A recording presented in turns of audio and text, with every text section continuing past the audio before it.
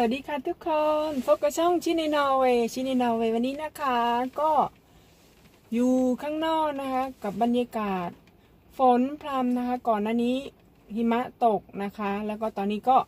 ฝนตกนะคะ ที่ประเทศนอร์เวย์ก็จะประมาณนี้นะคะ วันนี้ก็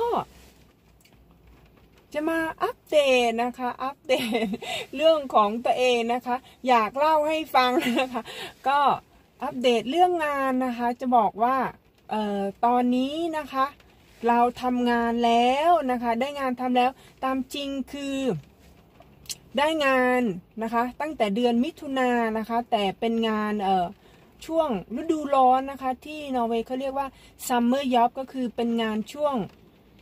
ฤดูร้อนนะคะ ซึ่งหมายถึงว่าคนทำงานประจำเขาก็จะหยุดพักร้อนเขาก็ หาคนไปทำงานแทนนะคะ ซึ่งเราได้งานช่วงมิถุนานะคะ แล้วก็ทำงานนะคะแค่สามอาทิตย์นะคะ พอสามอาทิตย์เราก็พักร้อนเหมือนกันนะคะ ซึ่งก็กลับมาทำจริง ๆนะคะ อีกครั้งหนึ่งก็เดือนกันยานะคะ ก็เดือนกันยาได้ทำแบบทุกวันแล้วก็เต็มที่นะคะ ซึ่งอย่างที่บอก คือเราเพิ่งมาอัปเดตนะคะ ชีวิตว่าเราได้งานทำนะคะ เพราะว่าอยากให้แน่ใจก่อนนะทุกคนว่าเราจะทำงานได้ไหมนะคะ ก็ทำอย่างที่บอกก็คือทำงานช่วงเดือนกันยานะคะ ก็คือเต็มเดือนนะคะ ทุกวันนะคะ ก็กันยาตุลาพฤศจิธันวามกราคุมภาก็หกเดือนแล้วนะคะ ตอนนี้เดือนกุมภาเนาะก็หกเดือนแล้วนะคะ ก็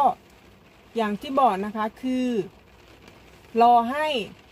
แน่ใจก่อนว่าทำงานได้จริงๆนะคะ ถึงจะมาอัปเดตให้เพื่อนๆนะคะ ได้ทราบชีวิตหลังจากเรียนจบแล้วทำอะไรนะคะ ก็คือตอนนี้ก็คือทำงานเต็มตัวแล้วค่ะ แต่ว่าก็ยังเป็นวีคาอยู่นะคะวีคาก็คือเหมือนออไม่ใช่ประจำนะคะ เป็นเป็นมาทำแทนนะคะ ก็เดี๋ยวถ้าเรามีเวลานะคะ เยอะๆนะคะ ก็จะมาขยายความพูดถึงเรื่องงานที่เราทำนะคะว่าทำงานอะไรทำงานที่ไหนแล้วก็ที่เราพูดถึงนะคะว่างานวีคาเป็นยังไงนะคะที่นอร์เวย์นะคะก็คลิปนี้ก็เป็นคลิปสั้น ๆนะคะ มาอัปเดตนะชีวิตการทำงานของตัวเองนะคะ ก็เดี๋ยวต้องรีบไปทำงานก่อนนะคะ ตอนนี้คืออ กำลังจะเข้างานนะคะ ก็เลยมีเวลานะคะ ก็เลยมานะคะ อัปเดตนะคะ อัดคลิปให้เพื่อนๆได้ทราบชีวิตนะคะ